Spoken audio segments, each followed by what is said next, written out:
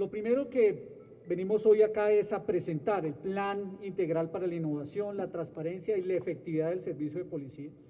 Reconocimos en nuestra Policía Nacional una institución que con 130 años de servicio es única en el mundo. Una policía que ha hecho historia, una policía que sigue haciendo historia y que hará historia. Una policía única en el mundo porque es multifuncional, simultáneamente presta servicios de lucha contra el narcotráfico, tiene una gran propuesta y trabajo contra el contrabando, es una policía que adicionalmente desarrolla los servicios de inteligencia, que lucha, por supuesto, por dar la protección especial a niños, niñas y adolescentes, y adicionalmente tiene un servicio de seguridad ciudadana. Hoy lo que presentamos es ese plan integral para la innovación, la transparencia y la efectividad del servicio de Policía Nacional. Esta es una decisión del presidente Duque en el proceso de implementación de la política de seguridad y convivencia ciudadana.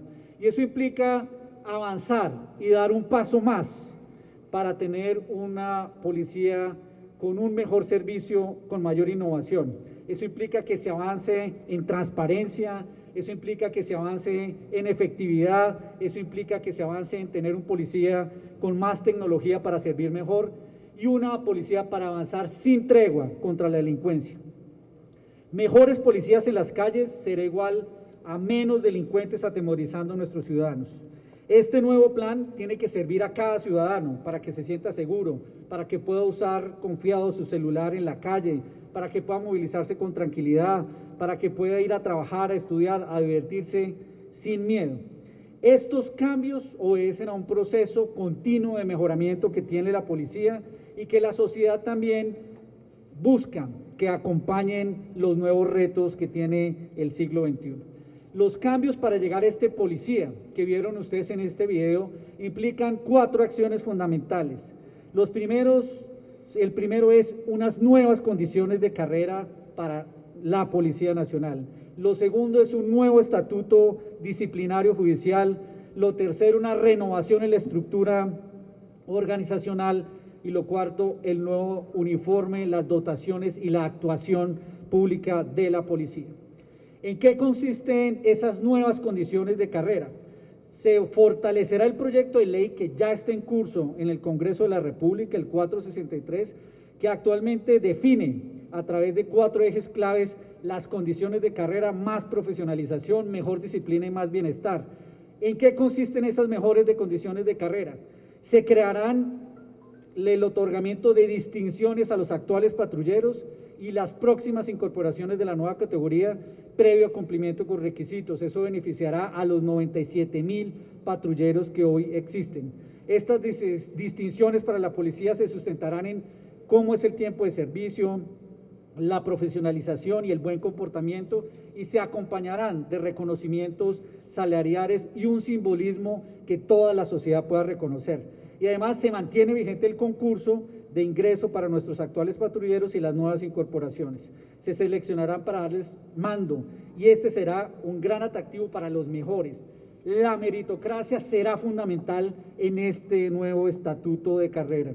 Y por supuesto al buen comportamiento. Y subrayo ese buen comportamiento porque el buen comportamiento va a ser definitivo para contar con mayores, mayores beneficios. Esto es muy clave más profesionalización porque se están incorporando más exigencias en la formación del policía. Van a tener cursos mandatorios, los cuales se certificarán como lo hacen todas las entidades de formación y las entidades que deben garantizar el desarrollo de competencias y conocimientos por parte de sus integrantes, sin importar el ámbito en que se desempeñen. Y además serán validadas esas competencias particularmente con una Comisión Nacional de Estándares que será implementada. Y también, como debe ser, se exigen preparatorios para la aprobación inicial de todos los, de, los exámenes de todos los patrulleros y los cursos de ascenso en todos los grados. Eso significa más bienestar, más disciplina y más organización. El segundo proyecto de ley que será presentado al Congreso de la República y que va en la dirección de formar ese policía con mejores competencias es un nuevo estatuto disciplinario policial, que quiero subrayar el aspecto trascendental de la disciplina. para que no solo incentivemos el bienestar, sino que vamos a exigir que nuestros policías sean intachables. Escúcheme bien esto, intachables. Eso es que la ciudadanía busca buenos comportamientos y además la entidad, la institución con ese nuevo estatuto permitirá avanzar en ese régimen disciplinario policial. Este nuevo estatuto busca la nivelación de las normas disciplinarias con todos los estándares internacionales de derechos humanos y además agilizar la resolución de los procesos disciplinarios de modo que se acabe con la congestión de estos procesos y se tengan resultados más rápidos. Y se van a examinar lo que sucede con conductas recurrentes que afectan a la administración pública y el servicio policial se incorporan al estatuto disciplinario normas como las contempla la Comisión Interamericana de Derechos Humanos y busca, entre otros, el respeto al debido proceso para los investigados y para las víctimas. Más disciplina es mejor servicio. Los colombianos van a poder conocer y seguir reconociendo la excelencia en los policías y van a exaltarse por sus acciones. Adicionalmente, se incorporan en el desarrollo de acciones administrativas buenos comportamientos, comportamientos que permitan precisamente tener ese tipo de certificaciones. Certificaciones en esa profesionalización como son en derechos humanos, certificaciones en el uso legítimo de la fuerza y las armas, certificaciones en procedimientos policiales, certificaciones en atención al ciudadano. También habrá una renovación en la estructura organizacional, habrá un estatuto, un decreto especial que reforma sumado a esos propósitos para que la estructura de la policía vincule estas acciones con la creación de jefaturas, especialmente la jefatura del servicio ciudadano y la creación con la mayor importancia de la Comisión de Derechos Humanos a nivel de la Dirección General de la Policía para cumplir esos propósitos con esos estándares. Además, se crea la Comisión de Estándares que permitirá dinamizar dentro de la estructura de la policía esa formación, esa validación y esas certificaciones. Todos los policías, desde patrulleros hasta oficiales, serán instruidos, certificados en estas materias, como ha sido señalado. Y finalmente están estos nuevos uniformes para una policía que mejore y que trabaje en el desarrollo del servicio policial. Y tengo que decirlo, el tema de los nuevos uniformes no es la sustancia única de este plan, pero va a ayudar mucho. Los cambios que estamos poniendo en marcha no son asuntos de maquillaje o de forma, son, como ha sido señalado aquí, un plan serio y profundo de innovación, de tecnología, de servicio, eh, del servicio policial. Y esto es lo que los ciudadanos van a ver en la calle, ese tipo de policías que requiere nuestro país en el siglo XXI. Se van a modernizar los uniformes de acuerdo con los estándares internacionales que permitan más visibilidad. El 85% de las policías del mundo usan el color azul eh, y mejor contraste para que el ciudadano ubique de una forma más fácil al policía. Hay asuntos de transparencia también en este nuevo uniforme, como es ese plan de la transparencia que se ve reflejado en el uniforme, porque la placa que identifica al policía va a ser más grande, más visible. En Colombia, como lo van a ver ustedes, se creó un diseño propio para las condiciones del país. También es importante señalar que el verde oliva se mantendrá en la zona rural y para las operaciones que requieren este color por razones tácticas y de seguridad. Este plan es una dimensión que prioriza a los ciudadanos y prioriza también a los hombres y a las mujeres que hacen parte de la institución policial. Este plan es un avance en cómo tenemos policías, por supuesto, con más valores, más certificados, con más competencias, más responsables, mejor formados y una disciplina más exigente y sus nuevos uniformes que permitan mejorar ese servicio policial como corresponde. Que cada policía se sienta respetado y que cada ciudadano se sienta respetado por el policía también, porque es a la vez su autoridad y su aliado. La tarea es de todos. Tenemos que construir y avanzar en la confianza de los ciudadanos en la policía y de la policía en sus ciudadanos. Los policías cada día se ganan esa legitimidad con su transparencia en su quehacer diario, con el respeto a la ley, la constitución, los derechos humanos y el derecho internacional humanitario. Todo nuestro respaldo incondicional el del presidente de la República, el del Ministerio de Defensa, a este plan de innovación, excelencia, tecnología y mejor servicio. De esta forma seguiremos sin tregua para derrotar a los delincuentes y a la inseguridad ciudadana. la intervención del señor director. El señor ministro ha abarcado de manera muy completa y detallada eh, los cuatro puntos de este plan integral, pero si ustedes me permiten como director general eh, focalizar, entrar un poquito más en detalle en algunos de ellos.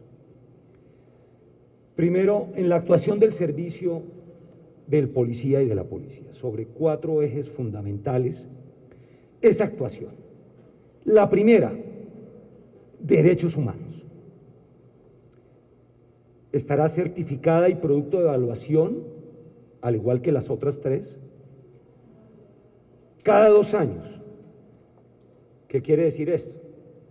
Para que se lo ponga un, poco de vía de ejemplo a, todas las personas en Colombia, así como un piloto para renovar su licencia tiene que presentar unos exámenes de idoneidad cada determinado tiempo. Nosotros los policías de la patria, mediante esta certificación, tendremos que estar actualizando ese estándar de actuación cada dos años. ¿Qué quiere decir? Que en toda la temática amplia de derechos humanos, que es muy importante para la policía en este momento, se eh, validará sus conocimientos, pero también la práctica en la realización de su actuación policial en derechos humanos. Dos, los procedimientos de policía. Y esta gama sí que es importante, que va también, para comunicárselo a los colombianos, una certificación permanente en los medios de actuación del policía, hablando de los procedimientos que constantemente vemos.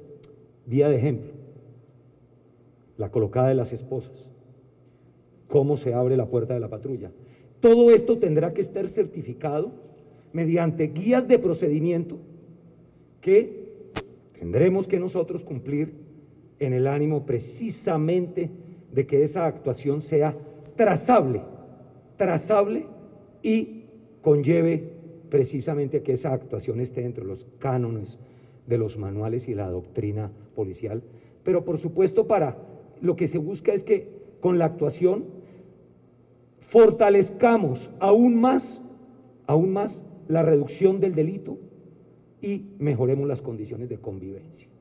En esto, dentro de los procedimientos, serán también las herramientas menos letales, unos principios de actuación en la progresividad del procedimiento policía de policía y que estará normado, reglado.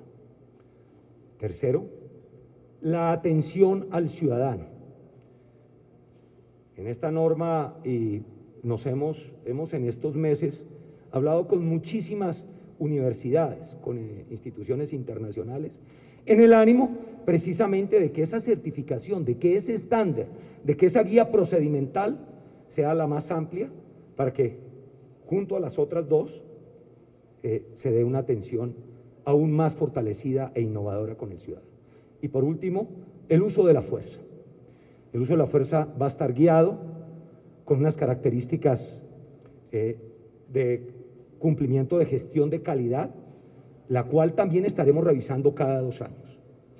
Vienen ya en camino unos pilotos que hemos comenzado desde finales del año pasado en Cartagena y que nos ha arrojado una información valiosísima que va desde el seguimiento fisiológico del policía a través de nuevas técnicas.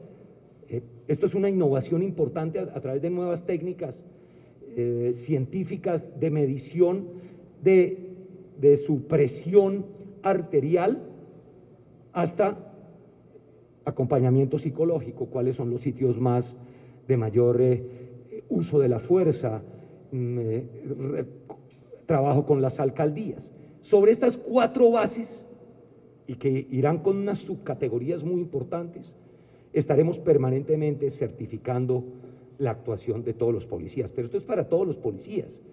Esto va para los oficiales, los comandantes de departamento, eh, los funcionarios de los ENCAR. Vía de ejemplo, tendremos que certificar permanentemente el uso de las armas, permanentemente estar reentrenando eh, en, el uso de las armas de fuego, es decir, tiro policial en el ánimo de hacerlo eh, aún más preciso y en consecuencia su actuación enmarcada en la ley. El señor ministro hacía énfasis en los derechos humanos. Se ha tomado una decisión importante de elevar la Oficina de Derechos Humanos de la Policía Nacional a la Dirección General de la Policía, en el ánimo que estando en la Dirección General de la Policía, primero, se puedan aumentar el número de funcionarios que cumplen la función de derechos humanos, pero dos, que estando en el nivel más alto de la Policía Nacional, se despliegue la atención, el cumplimiento, las acciones, las funciones de derechos humanos en toda la policía con instrucciones claramente cumplibles. Además, que estando en la Dirección General de la Policía, esta Oficina de Derechos Humanos va a tener una relación directa con todos los organismos de derecho humano, humanos, no solamente en Colombia, sino internacionalmente. Y esto también va a permitir una continua retroalimentación, que es muy importante, una continua retroalimentación en eh, nuestro sistema de derechos humanos de la policía, esparcido hacia la formación y la ejecución a través de la oficina de estándares. Con la creación de estas tres jefaturas, que esto es un estudio que se viene haciendo desde hace ya un par de años, suceden dos cosas. La primera, un mayor control sobre tres grandes dimensiones en la Policía Nacional. Uno, el operacional y ejecución del servicio, creando la Jefatura Nacional del Servicio.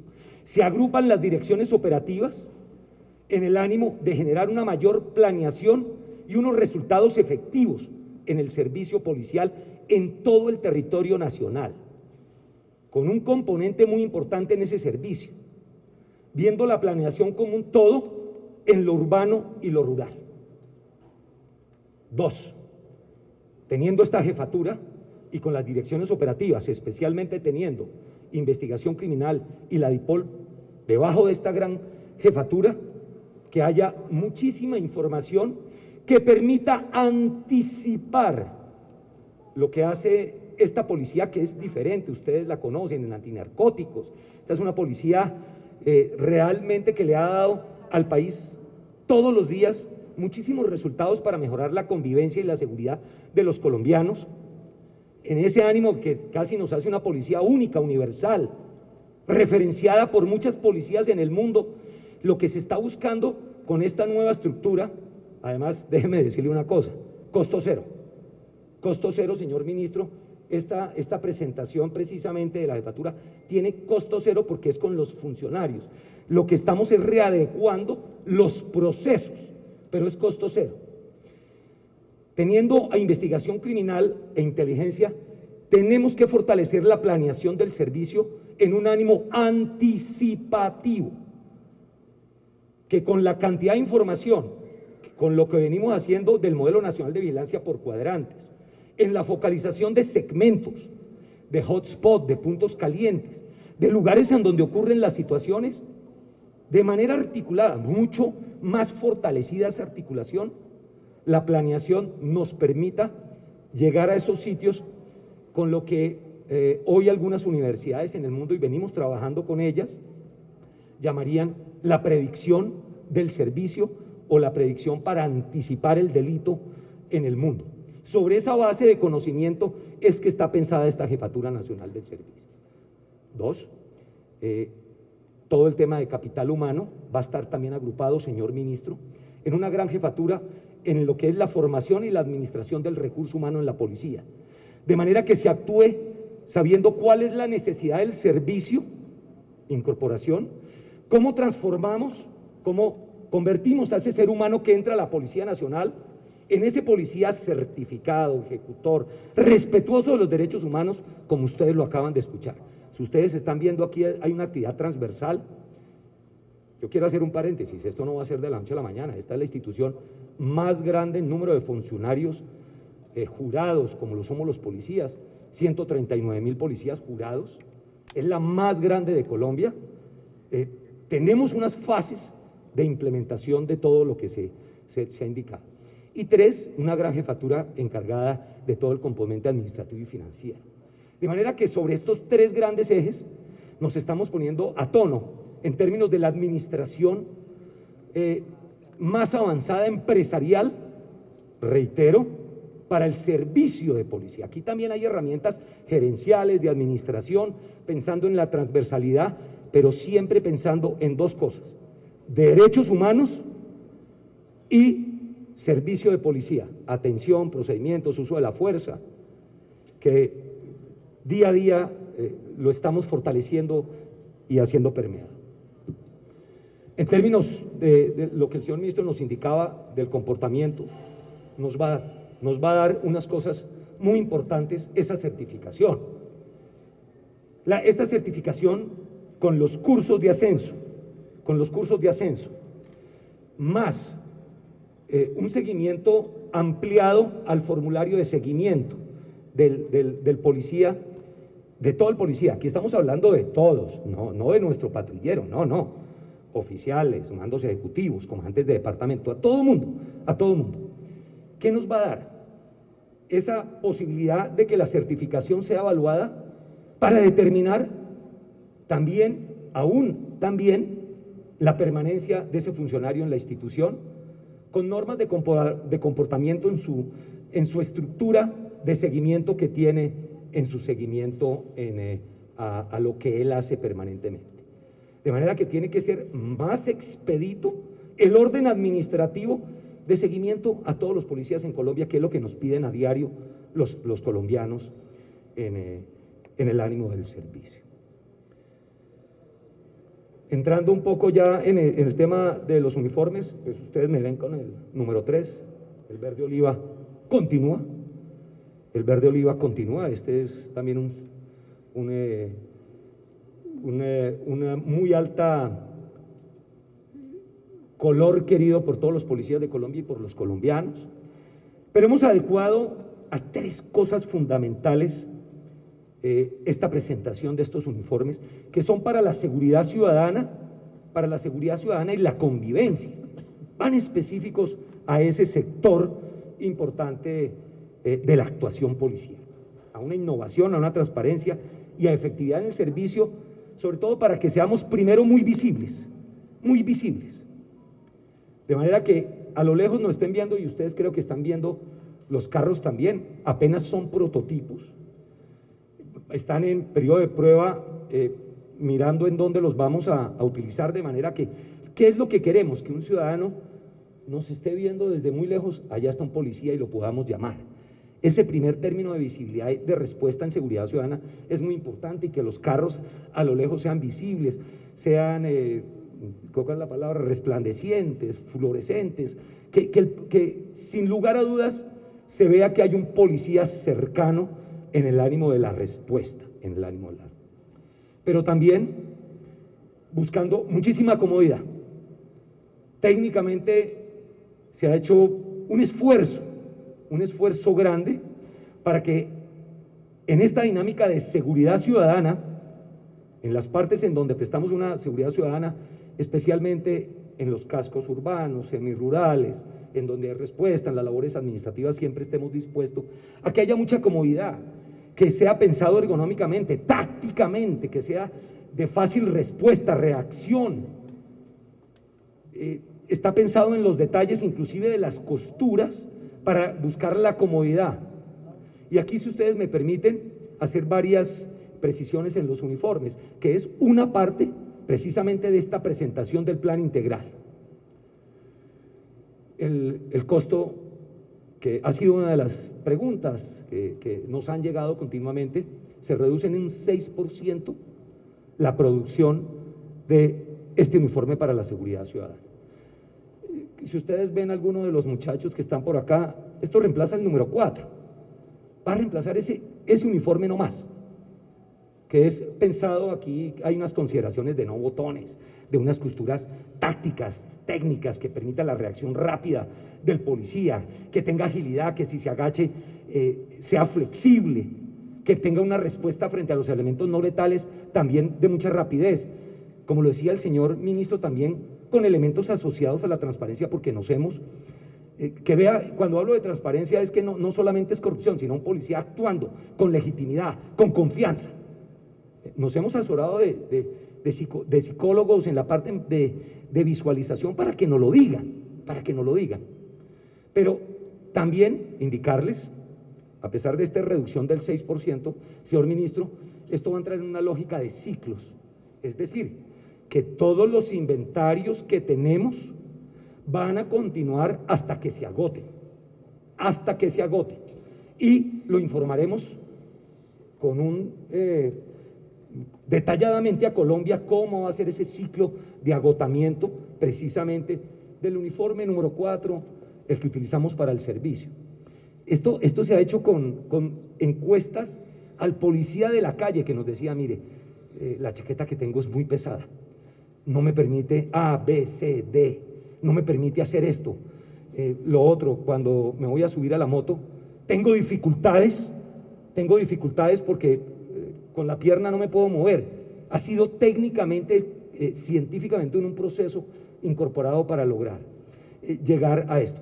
Pero también comenzamos, como lo indican las normas técnicas, en un proceso de pilotaje. Señor ministro, va a ser hasta finales de junio, en el ánimo de que los policías que van a comenzar a usarlo nos dirán puntualmente eh, todos los, detalles, todas sus recomendaciones en el ánimo de quitar, colocar, adicionar, eh, fortalecer, como lo dice la norma técnica, como lo dice la norma técnica. De manera que esto ha sido un proceso que en paquete tiene que precisamente innovar, generar efectividad en el servicio, señor ministro, y de cara a esa transparencia con muchísima legitimidad. Nos queremos cada día, como siempre ha sido, pero fortalecer esa legitimidad, esa transparencia ante el ciudadano. Estos carros, pensando en ciclos que venimos trabajando con los suecos o con los alemanes, en ciclos de presencia en zonas calientes. Carro como ustedes, el que, veían con, con los policías en ciclos, para cortar las cadenas criminales. En eso se está pensando en los procedimientos. Reitero, esto es una cosa que comienza eh, con, toda la implementación también en, el aspecto legislativo, señor, señor, ministro.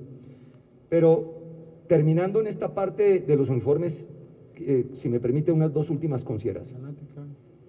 Seguimos fortaleciendo a nuestra base, seguimos fortaleciendo a nuestra base, a los patrulleros de la Policía Nacional en el espíritu de la norma, señor ministro, todos los 90 y 91 mil patrulleros que hay van a recibir unas condiciones salariales muchísimo mejores distribuidas en el tiempo hasta los 25 años.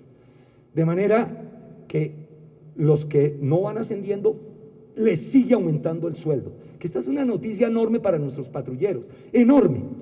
Pero dos, los que están en la actualidad, todos continúan con la condición de posibilidad del ascenso a través del concurso, que esa también es una gran noticia, es una gran noticia para los patrulleros en la Policía Nacional. Pero no nos quedamos ahí, señor ministro, en la presentación y todo ha sido consultado número a número con Hacienda. Ustedes me disculpan, pero como es un tema tan grande, toca explicarlo con muchísimo detalle y a profundidad.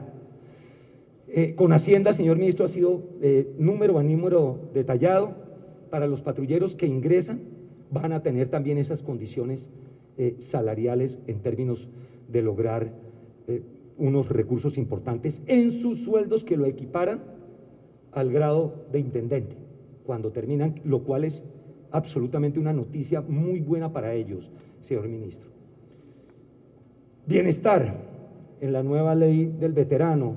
Eh, también se están adicionando algunos puntos en lo legislativo para que haya más y mejores eh, cosas para, especialmente pensando siempre en nuestros patrulleros, señor ministro. Vemos esto como algo integral, no es para la policía, sino para Colombia.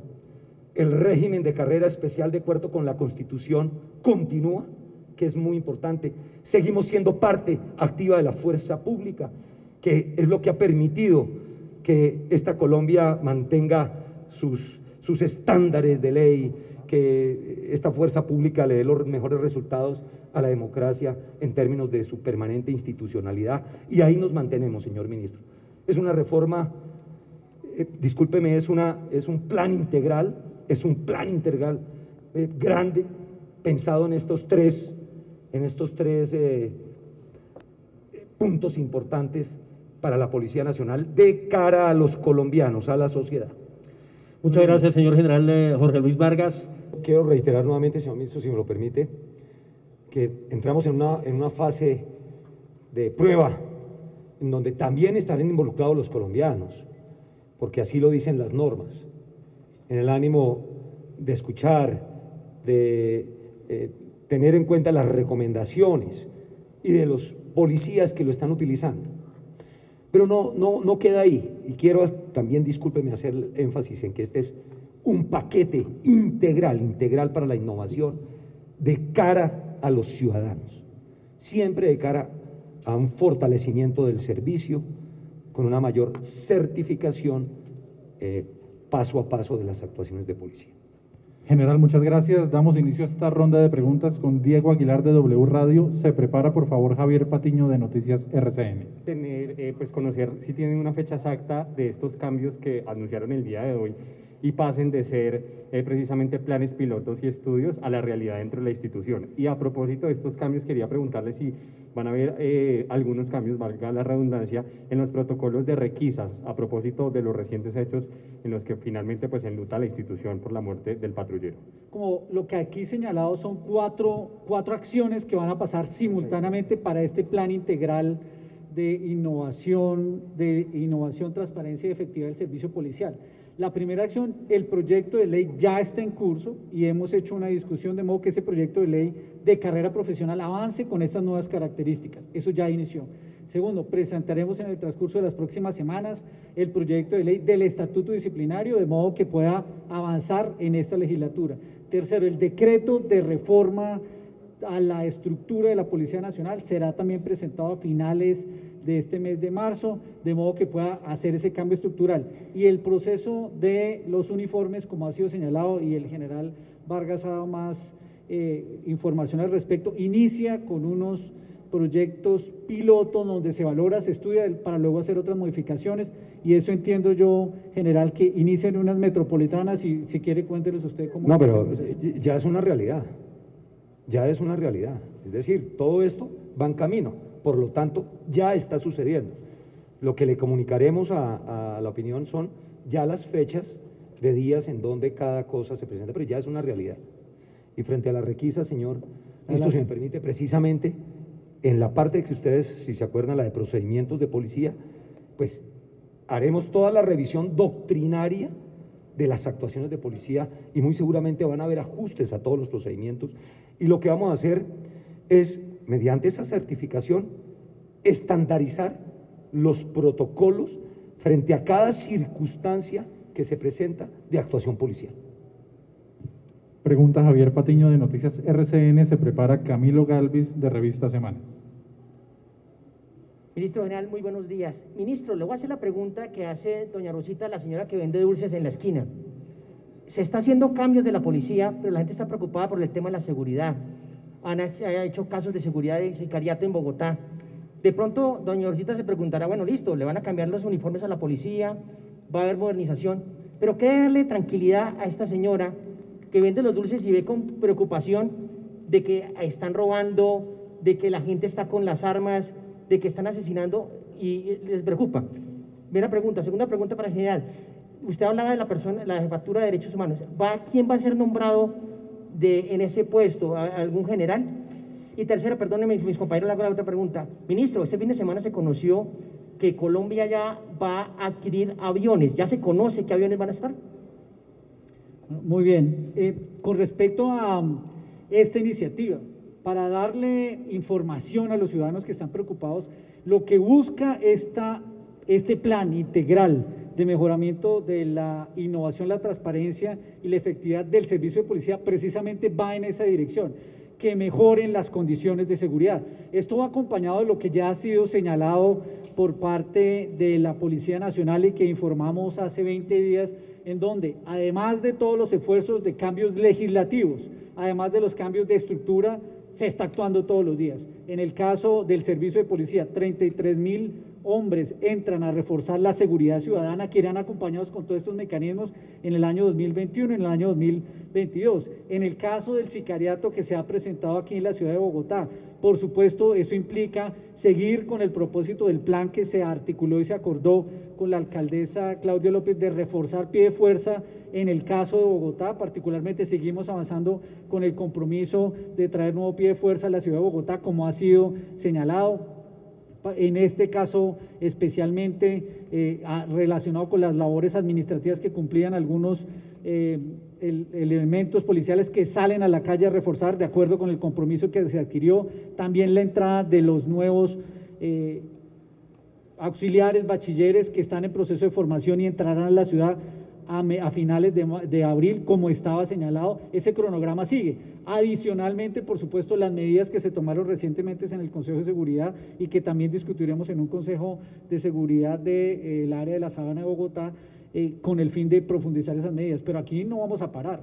La decisión es sin tregua para mejorar el servicio policial y dar garantías de seguridad. Y frente a los hechos que se han cometido, por supuesto, está nuestra Policía Nacional realizando las respectivas procesos de investigación para que sean judicializados con la policía. Y pues allí lo que vimos también es, miren que la capacidad de respuesta de la policía eh, también existe. La semana pasada vimos el infortunado hecho donde fue asesinado el patrullero Ciro y también con Caro, perdón, eh, y cómo también el, patrullero carvajalino se convirtió en un héroe porque actuó con decisión. Aquí tenemos una policía actuante también frente a estos hechos. Con respecto, como esta es una decisión, como esta es una conferencia eh, especialmente de prensa relacionada con policía, vamos a tener otro espacio para contarle a ustedes y a los colombianos también sobre cómo avanza ese proceso de fortalecimiento de las capacidades aéreas de Colombia. Sí, está en la dirección general, precisamente con el cambio se nombrará una persona de la, de la más alta graduación entre coronel o general. Entre las dos estaremos, que inclusive puede ser eh, una persona de la reserva activa con la mayor antigüedad también. Esta oficina va a tener la mayor preponderancia, la mayor preponderancia en eso, pero va a ser de la más alta graduación. Pregunta Camilo Galvis de Revista Semana, se prepara César Chaparro de Noticias Caracol. Se habla que allí se va a crear como una comisión disciplinaria que va a tener una, eh, en cuenta el tema de los derechos humanos o que van a ser más expeditos el tema de la disciplinaria eh, de los uniformados. Quería pues profundizar allí, si se puede profundizar, profundizar en ese tema. Y lo otro, ¿cuánto le va a costar esto, eh, general, teniendo en cuenta que usted señalaba que ya se habló con Hacienda, de con Hacienda, cuánto será el costo de esta transformación de la policía, pues que no se veía como en los últimos 10 años. Sí, no, no, la, transformación de los, de los uniformes, vuelvo a reiterar, que es para seguridad ciudadana. Continúan nuestros, el número 3, el verde oliva continúa, sigue siendo el emblema de la Policía Nacional. Esta es una policía única, grande, diferente en el mundo y continúa el verde oliva para seguridad ciudadana en términos técnicos, científicos, este va a ser eh, el fortalecimiento a ese plan integral y también de respuesta contra el delito. En la parte rural, por cuestiones, Colombia es un país verde. Eh, tácticamente tenemos que continuar con esas características en el uniforme, que es el verde oliva, que nos permite estar en esas áreas eh, rurales. Y vuelvo a reiterar, Camilo tiene menos 6% este uniforme para la seguridad ciudadana con los vehículos, con las secretarías de seguridad y con los presupuestos de las alcaldías que ya varios nos han dicho, se hará esa transformación y con los recursos precisamente que tenemos para ese rubro se empezarán los cambios de manera que ahí también habrá costo cero. En términos de, de lo que es e, esa adición para los patrulleros, que es una noticia enorme de cuánto es la a 40 años, de cuánto es lo, que para las distinciones.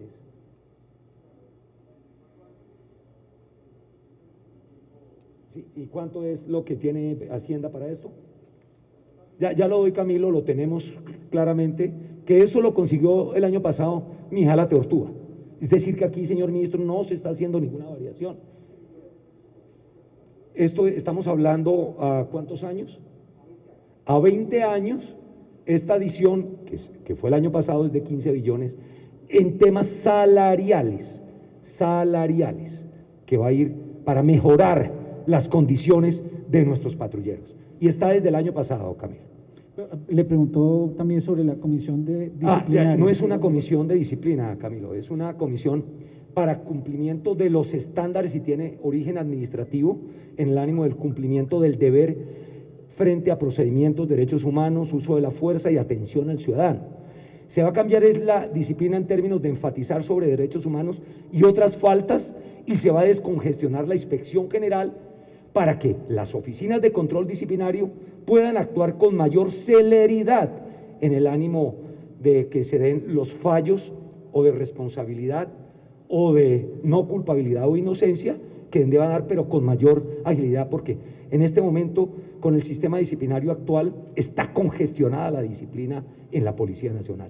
Vamos a descongestionar enormemente y darle agilidad a la disciplina en la policía. Saludamos a las más de 2.000 personas que están conectadas a esta hora con nuestras redes sociales de la Policía Nacional. Pregunta a continuación César Chaparro de Noticias Caracol. Se prepara Didier Chica de CMI. Cerramos con Diana Alvarado de Blue Radio. General, ministro, buenos días. Eh, recordando la, señora Rita o Rosita que dice Javier y nuestros maestros nos han enseñado, preguntan muchas veces, por ejemplo, General Vargas, estos muchos uniformes actualmente los venden en sitios públicos aquí en la capital, en diferentes zonas del país, y se han convertido de pronto en un momento eh, fácil para los delincuentes utilizarlos y así robar a la ciudadanía. ¿Tienen pensado ustedes alguna estrategia para que estos uniformes se vuelvan de alguna manera de uso exclusivo venta en algún punto especial de la policía? Y para el señor ministro, señor ministro, la gente eh, ya ha escuchado de usted obviamente el aumento de pie de fuerza, especialmente en la capital del país, pero muchos se preguntan, mientras llega este pie de fuerza, mire lo que está sucediendo. Se han presentado varios eh, casos de sicarios aquí en la capital, el más reciente este fin de semana. La gente ya tiene miedo en salir porque puede resultar o lesionada con un impacto de bala. Mientras llegan estos policías, ¿qué se va a hacer, especialmente aquí en la capital? Pasamos de un hurto a ya crímenes que se están cometiendo en Bogotá. Muy bien, le, respondo. En primer lugar, claro que nuestra Policía Nacional y con el acuerdo que se hizo en el Consejo de Seguridad se tiene una dedicación especial para que ese pie de fuerza de policía no se espere todo lo que ha sido señalado. De hecho, el año pasado entraron más de 900 policías a Bogotá que llegaron a reforzar ese esquema. Lo segundo, este año están entrando, como se hizo el esfuerzo y se planteó aquí, que de los mil que había identificado la policía que están en, labores administrativas, entrarán alrededor de 214, están entrando estas semanas para reforzar esquemas de seguridad directamente por el esfuerzo que ha hecho la policía y esperamos, por supuesto, que la alcaldía también avance en el compromiso de financiar 220 que están en el CDA para que se refuercen en este proceso. Y a partir de eh, finales del mes de abril entrarán los auxiliares bachilleres que estaban destinados, que se ha comprometido en 4 mil, entrarán una parte importante de ellos que son eh, alrededor de, habíamos señalado, mil- 1093, 1093 ya están en 1093 proceso y quedan que 3.000 están en más. proceso y quedarán disponibles a partir de abril 26. Pero adicionalmente, pues como aquí se ha señalado, en el caso particular de estas actividades de sicariato, pues una particularmente, ya ustedes vieron como precisamente allí donde eh, se presentó esa situación en la 79 con séptima, en ese hecho la misma actuación permitió capturar y neutralizar a aquellos que participaron en ese proceso. Perdimos allí a un patrullero que honramos el viernes anterior. Hoy se hizo una distinción al patrullero Carvajelino que actuó con distinción. Ahí se actuó en este caso particular, en lo que sucedió en el centro comercial, allí al pie de la Plaza España en los San Andresitos San José también se están desarrollando las investigaciones para poder esclarecer los hechos. Aquí la dedicación, el compromiso de la policía es permanente eh, y precisamente en esa medida vamos a seguir actuando con el refuerzo que se ha dado con este pie de fuerza y en el trabajo de investigación que viene haciendo nuestra Policía Nacional en coordinación con la Fiscalía. Eh, para César, a ver, eh, apenas este uniforme y pase todas las pruebas, hará parte de el- del reglamento de uniformes de la Policía Nacional. Y apenas parte pase a ser eh, parte del reglamento de uniformes de la Policía Nacional, se convierte de inmediato en, en un uniforme de uso privativo de las fuerzas militares y de la Policía Nacional y hay normatividad específica sobre eso para las personas que no están autorizadas para su uso, que es lo que pasa con cualquier uniforme de la fuerza pública eh, en este momento. De manera que, vuelvo a reiterar, está estará arreglado, señor ministro, por esa normatividad. Dos, frente a los sitios, y no solamente para Rosita, sino para todas las personas que tienen esas inquietudes. Eh, estos sitios están reglados por esa norma penal, pero también, porque ahí en estos sitios tienen autorizaciones expresas por Código Nacional de Seguridad y de Convivencia. Van a continuar, porque es que va a ser un uniforme eh, de la fuerza pública, César. Va a continuar, es, no solamente para Rosita, sino para, eh, para todas las personas que tienen esa inquietud. Eh, se hacen controles en todo el país, se han cerrado establecimientos, continuamente se están verificando las licencias en Cámara de Comercio para ver si cumplen precisamente esos estándares que la norma indica, de manera que pues, eh, van a estar absolutamente arreglados y esos establecimientos eh, también.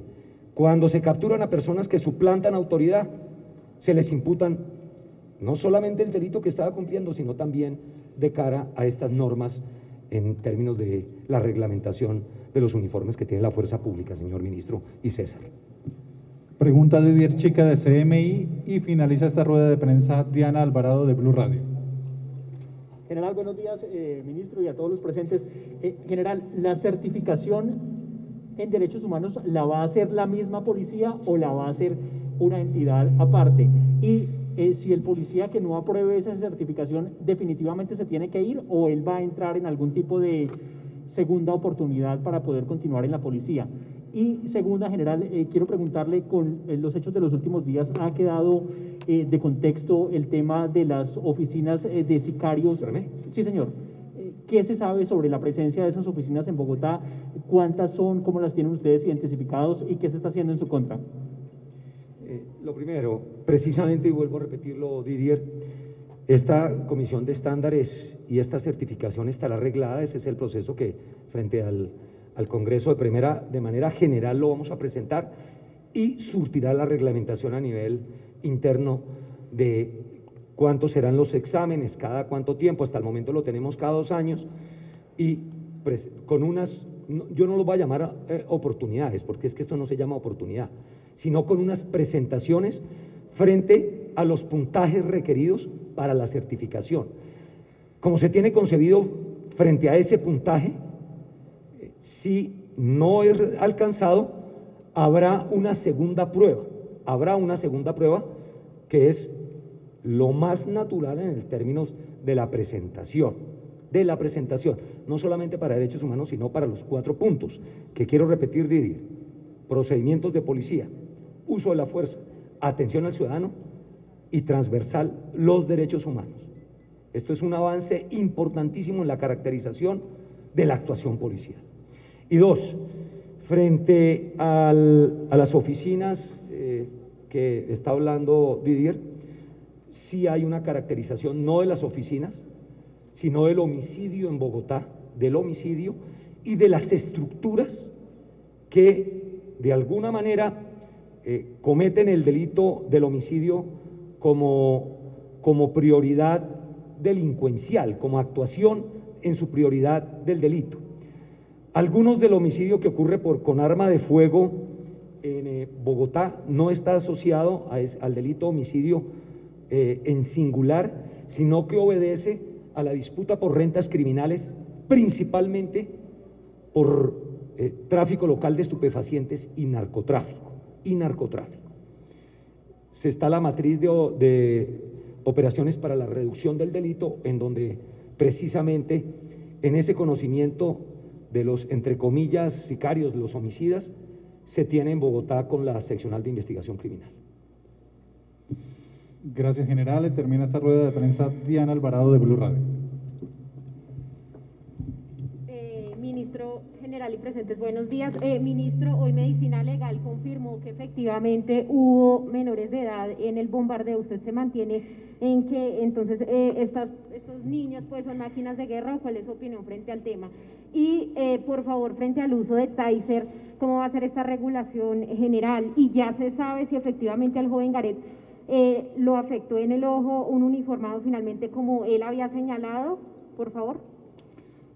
Diana, lo que nosotros dijimos la semana pasada precisamente es que en el desarrollo de esta operación en Calamar, en Guaviare, habían sido neutralizados en la operación 10 personas que murieron, murieron de acuerdo con el desarrollo del operativo y de esos, tal y como ha sido informado en el día de hoy, se ha señalado, y siempre lo dijimos así, es solo medicina legal, que de esos 10, 8 ya han sido identificados, uno, una joven menor de edad, de 16 años, tal y como fue, informado por medicina legal. Los otros dos está en proceso precisamente de identificación y esperamos a que sea medicina legal quien defina como, como corresponde por su responsabilidad y su función legal las identidades de las otras personas. Pero lo que es claro es que mi manifestación fue en el contexto del desarrollo de las operaciones y lo que está claro es que los responsables de reclutar a menores de edad y utilizarlos para convertirlos en parte de la beligerancia y las hostilidades son esos grupos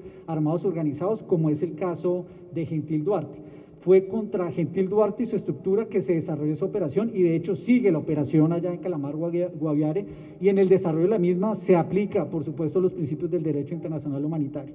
Aquí lo que tiene que tener claro nuestra sociedad es que quienes violan el derecho internacional humanitario son aquellos que reclutan a los menores y los convierten en jóvenes combatientes que pueden afectar y ponen en riesgo a la sociedad.